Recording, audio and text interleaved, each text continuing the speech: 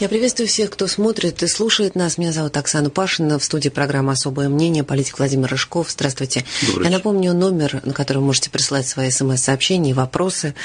Плюс семь девятьсот восемьдесят пять девятьсот семьдесят сорок пять сорок пять. Ну, Владимир, как вы знаете, у нас теперь новый министр образования. Мы еще не очень хорошо знаем Ольгу Васильеву. Ну, почитали кое-что. Пишут они, что она пропагандист идеи патриотизма, крайне консерватор. Мы поняли, что она любит Сталина. Знаем, что писала диссертации о русской православной церкви и политике советского государства. Как вам это новое назначение?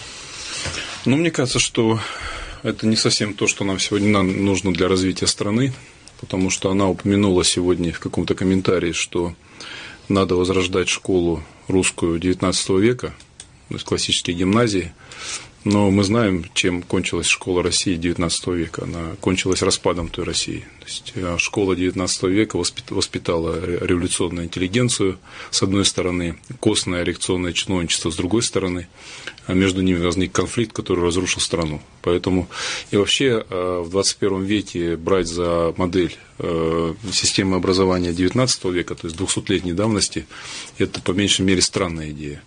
Как и такая э, приверженность православию, как так, приверженность так, право, право консервативным ценностям. Россия и так теряет конкурентоспособность в мире. Россия и так с ускорением отстает в технологиях, в мышлении, в знаниях, в подходах. Если мы еще будем культивировать в нашей школе э, образцы 200-летней давности, мы отстанем еще сильнее. Второе, э, она сказала, что ее главная забота будет э, забота об учительстве. Прекрасные слова. Да. да декларация отличная. Декларация отличная, но я не уверен, что новый министр образования, что называется, в теме что новый министр образования вообще знает, что происходит с российской школой и знает, что происходит с российским образованием. Бог поможет, возможно. А, а, Бог не поможет, потому что Бог не будет оплачивать счета а, школ и вузов. А это, к сожалению, такая бренная материя, когда очень много зависит от денег. Так вот, я хочу просто рассказать новому министру образования коротко, какова ситуация в стране сегодня со школами и вузами. А ситуация у нас катастрофическая. А, э, последние пять лет а, реальные расходы на образование быстро сокращаются. Причем а, быстро сокращаются расходы из всех уровней бюджета. Сокращаются расходы из региональных бюджетов и из федерального бюджета. Ну, приведу, приведу несколько цифр. Если говорить в о федеральном бюджете, я сейчас говорю о федеральном бюджете, угу. федеральный бюджет финансирует главным образом вузы. Так вот, за последние 4, э, последние 4 года, с 2012 года, в ценах 2012 года сокращение расходов федерального бюджета на образование катастрофическое, минус 36% в ценах 2012 года минус 36%. На, на, здраво, на здравоохранение, кстати, минус 50%. А на это я часто слышу, ну да, федеральный бюджет сокращает расходы на образование, но зато э, региональные бюджеты не сокращают. Тоже ложь. А, по расчетам с 2012 года в неизменных ценах а, расходы на образование из бюджетов всех уровней по сравнению с 2012 годом в реальных ценах минус 15%, на здравоохранение минус 20%. Министр, новый министр образования должна знать, что финансирование вузов а, за последние 4 года сократилось на 22% в реальных ценах. За это же самое время, за эти же 4-5 лет военные расходы в России удвоились в номинале ну и реально удвоились. Ну, да. да. То есть удвоились. Фактически что происходит в стране? В стране идет э, наращивание оборонных расходов, в стране идет быстрое наращивание полицейских расходов. В стране растут расходы на э, госуправление. Например, средняя зарплата чиновников федерального уровня, буквально позавчерашние цифры, достигла 100 тысяч рублей федеральных чиновников. Угу. При том, что средняя по стране 35-37. А средняя по многим регионам гораздо ниже. Например, в моем Алтайском крае 20-22 тысячи. Федеральные чиновники получают 100 тысяч. Так вот, идет огромное перераспределение денег от образования, здравоохранения, науки, культуры а, в пользу огромных военных расходов. У нас, чтобы просто наши слушатели понимали, у нас по прошлому году военные расходы в совокупности 4,5 триллиона рублей – на все образование из всех видов бюджетов три. на все здравоохранение из всех видов бюджета 2. То есть у нас оборонные расходы почти уже сравнялись с суммой расходов на образование и здравоохранение. Нужно ли у нас, так понимать, у нас что мы доля, воевать у нас доля, у нас, я не знаю, с кем мы собираемся воевать, пока мы воюем с собственным народом, потому что э, обнищание населения, э, варварская оптимизация, когда по всей стране закрываются тысячи школ, закрываются тысячи больниц, фельдшерско-акушерских пунктов, по всей стране идет сокращение учителей, по всей стране идет сокращение ученых, по всей стране идет сокращение вузовских преподавателей, стационарных коек в больницах. Пока идет война с собственным народом, и наращиваются военно-полицейские и чиновничьи расходы, и если новая министр образования, вот такая она вся красивая, приходит и говорит, я буду заботиться об учительстве, да, угу. я хочу задать прямой и жесткий вопрос новому министру образования. А вы готовы встать в оппозицию к президенту и вы готовы встать в оппозицию к премьер-министру Медведеву, который целенаправленно и сознательно на протяжении нескольких последних лет сокращают расходы на образование. А вы готовы встать в оппозицию к президенту и к правительству, которые сокращают дотации регионам? А это очень важно подчеркнуть, что идет сокращение в федеральном бюджете. В 2014 году 5,5% шло на помощь регионов, а в этом году только 4%, на 1,5%. А дело в том, что регионы платят зарплату учителям. Именно регионы платят зарплату учителям по всей стране. Вот так вот я задаю вопрос новому министру образования. А вы вообще отдаете себе отчет, что вы стали министром отрасли, где идет систематическое сокращение финансирования? Вы даете себе отчет, что ваш лозунг помочь учителям это пустой звук, если вы не добьетесь от федерального правительства и от президента который вас назначил, радикального увеличения финансирования школ, вузов, дошкольного. Но, может быть, она добьется, найдет какие-то ну, аргументы. Нужно я... непременно вставать в оппозицию, или, может быть, она найдет какие-то аргументы. Может быть, не вставать в оппозицию, можно вставать в пропозицию, как угодно. Я просто констатирую факт, что в стране проводится целенаправленная, систематическая политика сокращения расходов на образование из всех уровней бюджетов. Министр образования должен это осознавать. И если министр образования в день назначения говорит о том, что главное – это забота о учителях, она первый вопрос, который она должна поставить, и последний вопрос, который она должна поставить, это радикальное, на десятки процентов увеличение финансирования высшего, специального, общего дошкольного и других видов образования. Нужно так понимать, что просто власть дает понять, что ей не нужны образованные люди, нужны чиновники, нужны силовики. Нужны образованные нужно люди. оружие, совершенно верно. Но тогда не надо врать людям, тогда не надо, э, не надо создавать иллюзию, что в России учительский труд уважаемый. Вот я приведу пример моего родного Алтайского края. Я только что проехал 12 сельских районов, провел встречи в 43 э, селах. Катастрофическая ситуация. Катастрофическая. Учителя получают 9, 10, 12 тысяч рублей в месяц. При этом работают на полторы-две ставки. При этом они зарплату получают не за отработанные часы, а за количество учеников. Многие сельские школы малокомплектные или недокомплектные. То есть учителя с гигантской нагрузкой, с огромным стажем, с высочайшей квалификацией получают нищенскую заработную плату. Для того, чтобы сфальсифицировать отчетность, их переводят на 0,7, на 0,5 ставки. А, имея нищенскую заработную плату, учителя держат коров, выращивают э, овощи на огородах. Как завещал премьер-министр Медведев. Совершенно да. верно. При этом они же скидываются. Вот я сейчас проехал множество сельских школ. Учителя из своей нищенской зарплаты скидываются и делают ремонт школ перед началом учебного года, потому что э, власти не финансируют.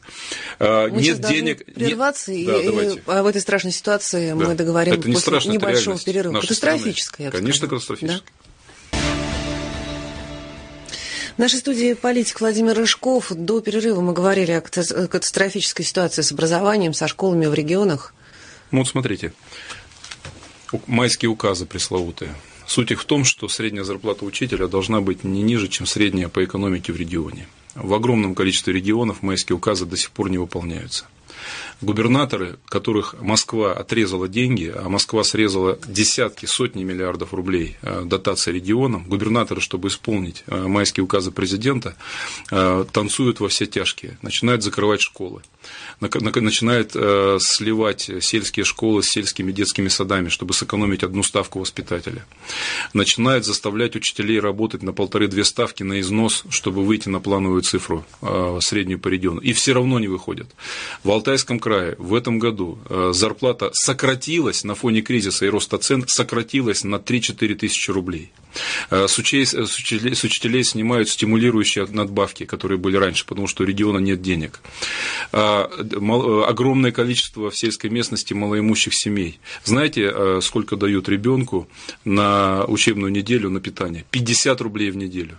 50 рублей в неделю, это 10 рублей в день или там, там около того. Что может ребенок получить? У него мамка голодная, он утром едет в школу на школьном автобусе по разбитой дороге с пустым животом. В школе ему дают стакан черного чая, кусочек черного хлеба и три ложки кашки э, э, манной значит, на воде. Потом возвращается домой, ему нечего есть. 50 рублей в неделю дают на малоимущих. Их тысячи по Алтайскому краю, их десятки тысяч по всей стране. При этом страна воюет в Сирии, при этом страна помогает около полутора триллионов рублей другим государствам, а страна помогает сирийским детям. Давайте подумаем о детях в Салтонском районе, давайте подумаем о детях в селе Луговое Красногорского района, которые получают 50 рублей в неделю на, на бесплатное льготное питание. Нищие учителя сами красят полы за свою нищенскую зарплату. Нищие учителя скидываются и сами покупают себе методические пособия, учебники. А нищие родители покупают учебники детям, потому что деньги на учебники тоже не выделяются. Идет сокращение э, школ. Вот э, я вообще назову просто, вот мне кажется, у нас в Москве просто не понимают очень многие, что происходит реально в стране. Э, средняя зарплата в московских школах, как я увидел недавно, средняя зарплата 66 тысяч, на Алтае 18 тысяч. Разве это нормально, когда в одной стране учитель той же квалификации, за ту же самую нагрузку, за таких же точно детей получает 18, а в Москве получает 66? Это вызывает дикое озлобление по всей стране. Что происходит на примере Алтайского края? Дошкольное учреждение, детские сады. Средняя зарплата 13 год 11 тысяч. Средняя зарплата 16 год 12 тысяч. За 4 года никакого роста заработной платы. За 4 года цены выросли на 60%. Это означает, что эта несчастная воспитательница детского сада обнищала на 60% за эти 4 года. Давайте возьмем школы. Средняя зарплата 13 год, Алтайский край, 17,3 тысячи в месяц. Средняя зарплата в этом году 18. За 4 года никакого роста заработной платы. Цены за 4 года 50-60% выросли как минимум. То есть идет колоссальное обнищание педагогов по всей стране. Идет разгром образования. Посмотрите, что происходит в вузах. Никакой индексации зарплат преподавателям. Постоянно растущая нагрузка. В вузах дикое соотношение управленческого персонала вузов и преподавателей. Под преподавателей все меньше, управленческого персонала отчетности все больше. При этом в вузах сокращается число бесплатных бюджетных мест и постоянно растет число платных мест. У меня только один вопрос. Почему преподаватели, почему учителя, почему сельские жители? Они молчат, они ждут, Они не молчат, сверху они не молчат. Войдите в Одноклассники Алтайского края.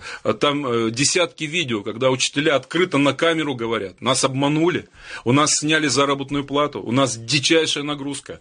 Плюс мы пишем бесконечную бюрократию. Мы сами за свой счет ремонтируем ну, школы. В социальных сетях, это, конечно, прекрасно, но он ни но чему Люди не, не молчат, люди даже под страхом увольнения, их, и, и, их сейчас заставляют голосовать за Единую Россию под страхом увольнения. Но Люди они... даже в этой ситуации, Нет, когда подожди. они могут потерять они последний кусок хлеба, для кого пишут? Они это Делятся пишут. просто своей бедой, а, а люди это... открыто говорят, что они возмущены. Люди открыто говорят, что идет развал э, образования под названием оптимизация, идет развал здравоохранения по всей стране. Вы знаете, что у нас средние расходы на образование от ВВП, есть такое понятие, э, расходы на образование от ВВП в два раза ниже, чем в развитых странах. У нас средние расходы на здравоохранение в два с половиной раза, чем в развитых странах. Мы с помощью молитвы и, и, и, и закона Божьего, и хоть лоб расшибем об иконы э, с новым министром, мы не спасем страну, потому что э, будущее страны на 100% зависит от образования. И если страна делает все, что угодно. Ракеты, новые э, атомные подводные лодки, новые атомные э, стратегические бомбардировщики и так далее. Но при этом в нищете от голода падают дети, у которых дают 50 рублей в неделю на питание. Если учительница, у которой чудовищная нагрузка, вынуждена держать корову у себя э, дома и утром, вечером ее доить, чтобы не умереть с голоду, если эта же учительница продает молоко скупщикам по 15-17 рублей за литр и на эти деньги покупает ведро краски, краски и красить свою собственную школу, это же дикость, это бред в 21 веке, э, в такой нищете, в таком разгроме держать школы, держать... Э, а сколько СПТУ закрыто? Никто сейчас не готовит слесарей, никто не готовит токарей, никто не готовит трактористов, никто не готовит поваров. Просто как мама идет по стране, которая уничтожает э, всю бюджетную сферу. Поэтому я, я, этом, я, я, я это все говорю, потому что это не я должен говорить, это должна говорить новый министр образования. Но, может быть, она еще а она вместо этого говорит, дела. мы будем возрождать э, школу 19 века. Возродите школу 19 века, где учитель получал э, огромную заработную плату по тем временам, где ему давали жилье, где, где профессия учителя в 19 веке была одна из самых престижных. Мы это знаем по, по Чехову, мы это знаем по другим великим русским писателям. Давайте возродите. Но в то же время Но если вы платите, дети не учились Если вы платите 9 тысяч рублей учительнице, которая пластается с утра до ночи, ей надо еще корову накормить, ей надо еще э, три машины дров купить на зиму, ей надо еще сено заготовить, ей надо картошку посадить, окучить, прополоть и выкопать, чтобы не умереть с голоду. Не надо, это, это настолько цинично, когда с высоких трибун говорятся высокие слова о престиже учительского труда, о важности образования. И когда ты сталкиваешься с реальной ситуацией, это такой за гранью абсолютный цинизм, э, Уж лучше бы они молчали. Хорошо, вот на этом нет. описанном фоне, да? Или как Медведев, э, идите в бизнес. Медведев да, честно идите сказал, в бизнес, да. Не надо уже его. Да. Все понятно. На этом описанном фоне мы видим, хорошо, министр образования, может быть, еще не в курсе, она почитает потом всю эту статистику, тоже ужаснется, может быть, возьмет самоотвод, а может быть и нет. Но на этом фоне власть меняет министра образования. Ливанов, да, им тоже были не все довольны, на крайне консервативную э, представительницу. Значит ли это, что э, власть хочет нам сказать, у нас эта тенденция устраивает, все хорошо, все так и будет, а этот человек присмотрит, чтобы было меньше возмущения? Может быть и так, потому что я еще раз повторяю, почему что, именно э, сейчас что если... снимают Ливанова и назначают? Я, я не Ольгу знаю, Юрьевну. почему там кто, кто кого снимает. Я знаю только одно, что при Ливанове, при Ливанове катилось вниз образование. Все вот эти тенденции, которые я описываю, это тенденции последних лет. И почему он не возвышал свой голос? Он что? Он прекрасный специалист, он технократ. Он наверняка даже лучше меня и больше меня знает цифр хотя я основные как бы вот тенденции угу. я рассказал сегодня, да, вот. А, при нем шло а, закрытие частных вузов, снижалась конкуренция, при нем шло сокращение бюджетных мест, при нем шло колоссальное сокращение в целом финансирования здравоохранения. Что новый министр может сделать в этой ситуации, если политика государства такая? Что? А, ходить разрезать ленточки, изображать все хорошо, заниматься психо, психо, психотерапией, убеждать э, э, замученную учительку, которую только что вытащил ведро ведро из-под вымени своей коровы, что она живет хорошо и что о ней заботится государство. Понимаете, вот я э, провожу сейчас встречи с тысячами людей, из них сотни учителей. Никто в эту туфту уже не верит.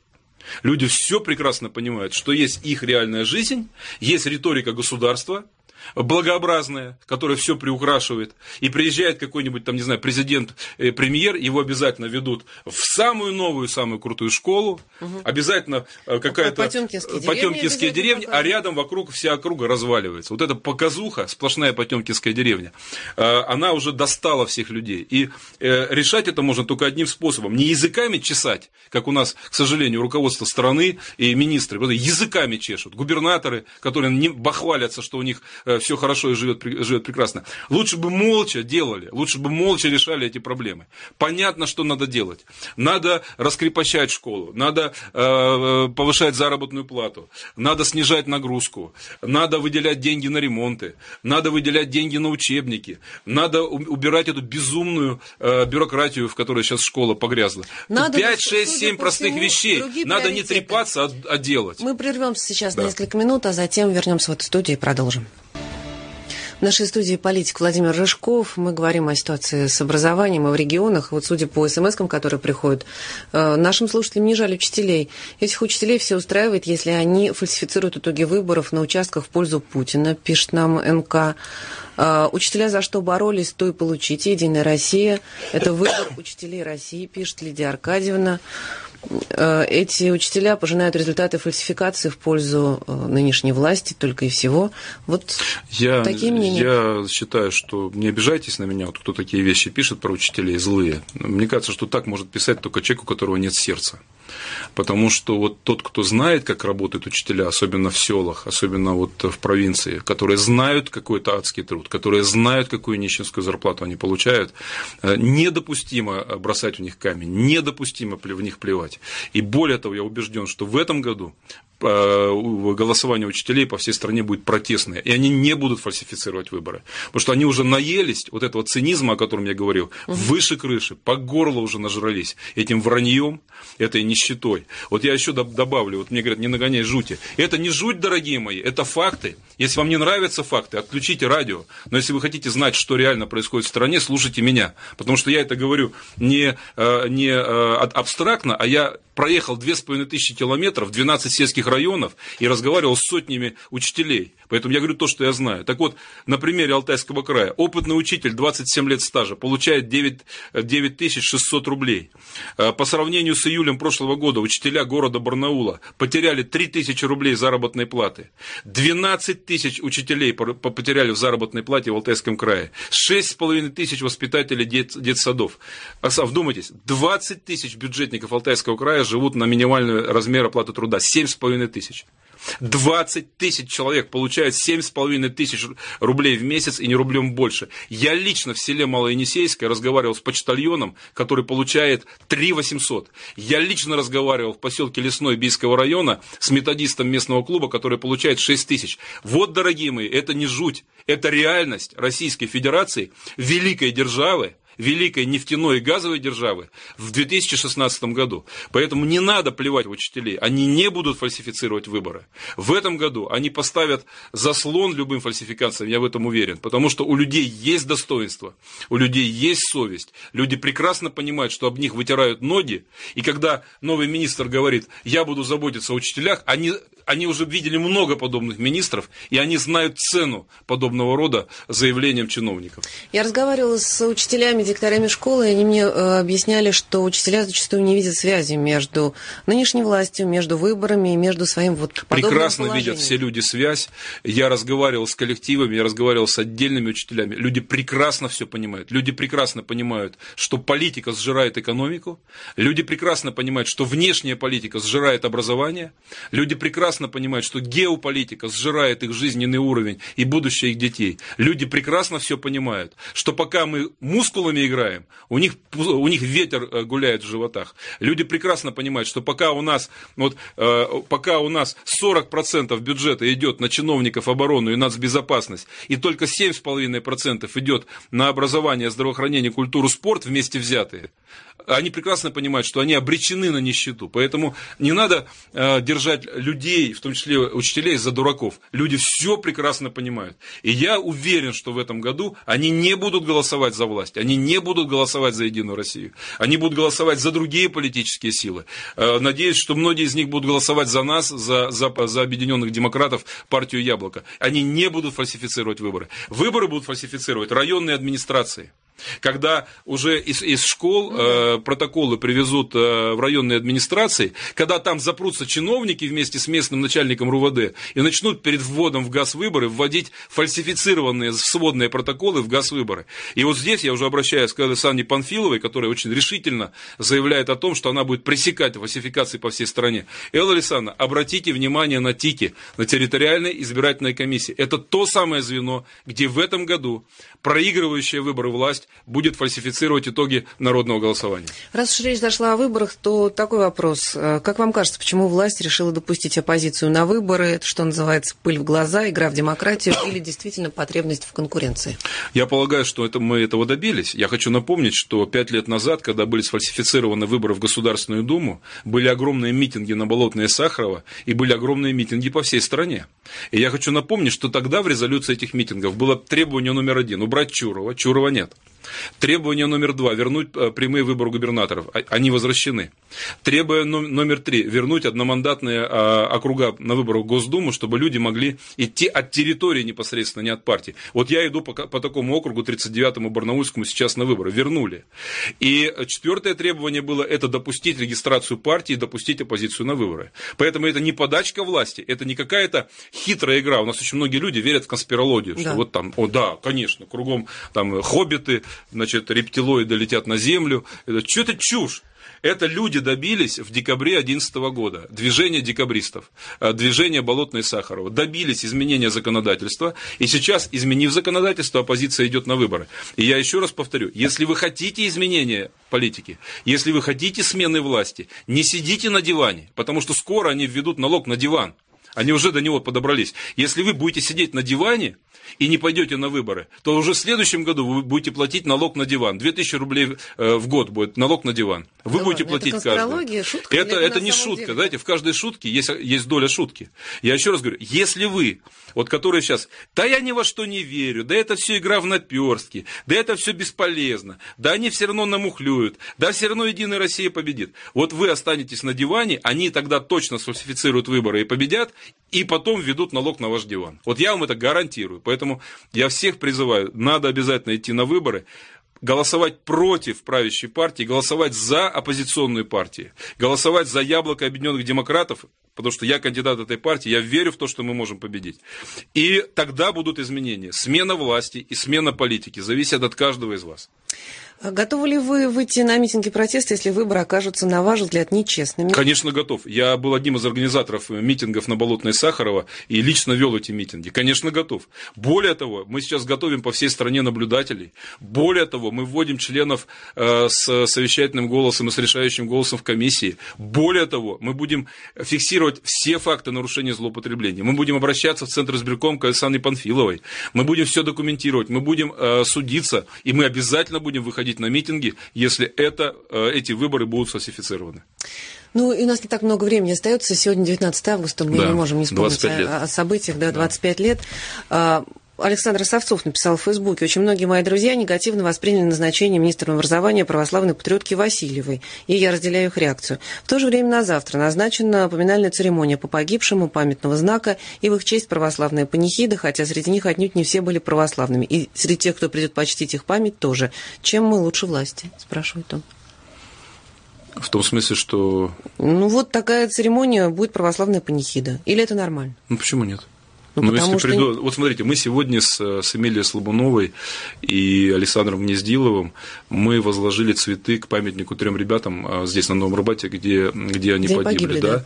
Если какие-то люди хотят э, провести православную панихиду, ну что в этом дурного, в конце концов? Я не вижу ничего дурного абсолютно.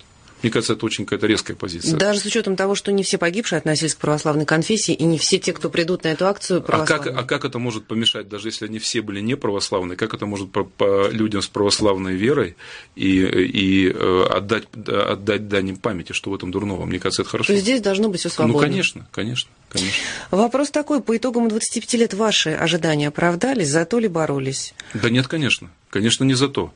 А ведь э, что такое было ГКЧП? Это была попытка повернуть историю вспять. Это была попытка лечь бревном на пути истории. Это была попытка вернуть все взад то есть э, в сталинские, брежневские времена. Я сейчас э, все говорят, вот вышли там люди к Белому дому. Да ничего подобного. Десятки тысяч людей вышли в Петербурге. Э, в Барнауле вышло 10 тысяч. Я вел тут митинг. 10 тысяч это самый большой митинг вообще, мне кажется, за 20 век угу. против ГКЧП. По всей стране вышли сотни тысяч, может быть, даже миллионы людей против ГКЧП. Народ их отринул, народ их отбросил. Это была агония Советского Союза. Это была агония провалившейся системы. И люди хотели другого. Люди хотели самоуправления местного, люди хотели демократии, люди хотели подотчетных чиновников, люди хотели ответственного и э, честного государства, которое работает в общем бладе. А что в итоге получили? Банду хапук, которая э, хапает и нажраться не может. Что в итоге получили? Неработающую экономику, чудовищную коррупцию, Э, забитых, униженных учителей, которых угрозами увольнения заставляют э, голос... ходить на праймере с Единой России и потом за нее голосовать. Конечно, все надежды практически разрушены. Все, за что тогда люди выходили, э, отринуто. Но это не означает, что те идеалы, идеалы честной власти, подотчетной власти, идеалы общего блага, а не частного интереса чиновников, это не означает, что эти идеалы плохи. Ну просто ну, мы не смогли поднять эту штангу. Наша, наша элита, наше общество, э, мы топчемся на месте. Вот вы знаете, Оксана, что мы сегодня в 2016 году находимся по экономике в восьмом. Нет, теперь знаю. Мы находимся Чем? в восьмом, у нас потерянное десятилетие. Вот у нас власть говорит стабильность, а на самом деле это болото, это просто 10 лет в унитаз, 10 лет в никуда. Это уже полпоколения выросло. Вот в этом...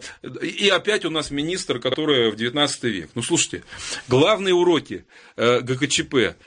Урок первый. Не стой поперек, поперек истории. Не стой поперек прогресса. Тебя, тебя сокрушат. Э, то, что произошло с ГКЧП. Они решили повернуть вспять историю. Так не бывает. И они были в три дня растоптаны и сокрушены. Э, второй урок. Любая непоследовательная политика кончается крахом, потому что Михаил Сергеевич, он очень компромиссный человек. Он, он стремился давать сигналы и Язову с Крючковым с одной стороны, и Ельцину со Станкевичем с другой стороны. И вот он пытался балансировать, и в итоге вот эта политика э, компромиссов и нерешительности тоже потерпела крах. И третий вывод из ГКЧП, вот то, что для нас сейчас важно, то, что для нас сейчас э, исторический урок. Если ты не идешь вперед, ты деградируешь. Если ты не идешь в ногу со временем, ты отстаешь. Если ты цепляешься за прошлое, ты кончишь крахом. Вот у нас власть нынешняя э, с ее э, консерватизмом, э, трусостью, непоследовательностью, неспособностью принимать э, решительные, э, э, резкие решения по тому же образованию, то, что мы обсуждали, она фактически, э, Россия застряла вне времени и пространства сегодня. За счет обнищания населения, за счет экономического упадка. У нас 350 тысяч уехало за прошлый год людей за границу. 350 тысяч. Это крупный российский город. Поэтому главный урок ГКЧП – не стой против истории, не будь половинчатым, не иди назад, иди вперед. Только так Россия может развиваться. Сегодня мы опять стоим на месте, мы деградируем, и это опять создает риски потрясения и краха. Это была программа «Особое мнение» и политик Владимир Рыжков. Всего вам доброго, до свидания.